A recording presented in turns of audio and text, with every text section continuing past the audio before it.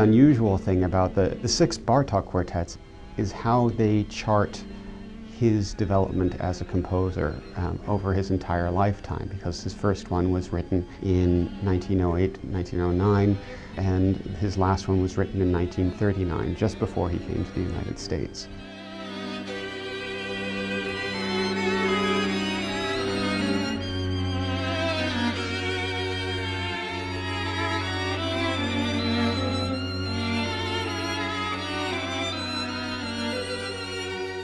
The Bartok that we encounter in the first quartet is a young composer. He's 27 or 28 years old at the time, finding his own voice.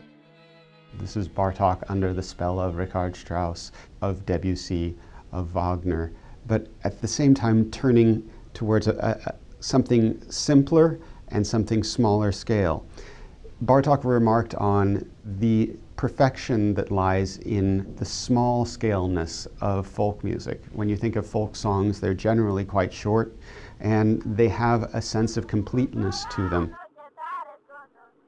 Since Bartok would spend so much of his life writing music based on folk music and indeed collecting the source material from which his folk based music would be derived, you can actually see both forces at work within him.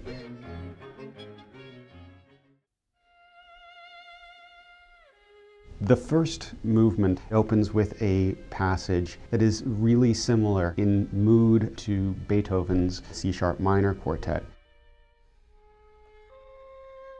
The specter of Beethoven, particularly over the genre of the string quartet, loomed extremely large. So I don't think you can discount the influence that Beethoven had on Bartok, though they lived over a century apart. This opening movement is described by Bartok himself as a funeral dirge. Early on, Bartok developed an infatuation with a young violinist named Steffi Geyer.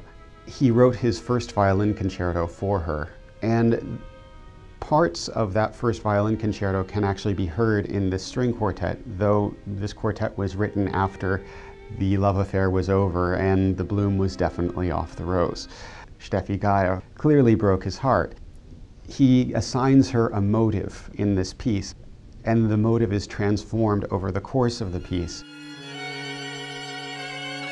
So while she may have been flattered to hear that she is reflected in the piece when she first heard about it, I can hardly imagine that she was excited to hear the manner in which she was reflected in the piece.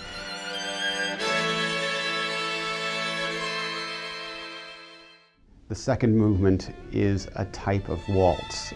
It's not a straightforward waltz, and in fact, upon first hearing it, you may not even think it's a waltz at all, but when you see it on the page, it's in 3-4 time and it has all the gestures that one associates with a Viennese waltz. And then you wind up at the last movement, a fast movement that becomes even faster, that's very much folk influenced and what we think of as Bartok.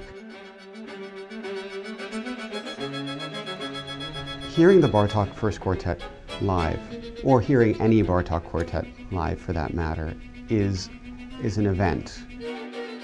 When you're watching people perform it, it becomes clear just what Bartok is asking of his players because lines are meant to be passed seamlessly from one instrument to another very quickly.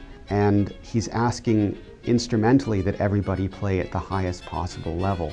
There is no hiding in a quartet. Everybody has their part to do, and if they don't play it, nobody else is going to cover it for them.